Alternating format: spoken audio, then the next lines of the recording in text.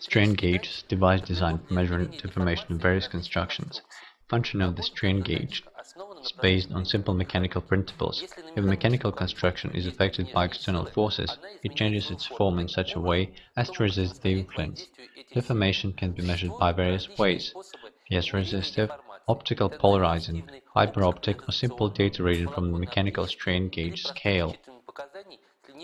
Piezoresistive gauges are the most widespread among the electronic strain gauges. A piezoresistive gauge usually consists of a special elastic structure with an attached piezoresistor and other accessory components. Strain gauges are subdivided into the following types: projecting, cylindric, S-shaped, expansion designed. Their load varies from several grams to hundreds of tons.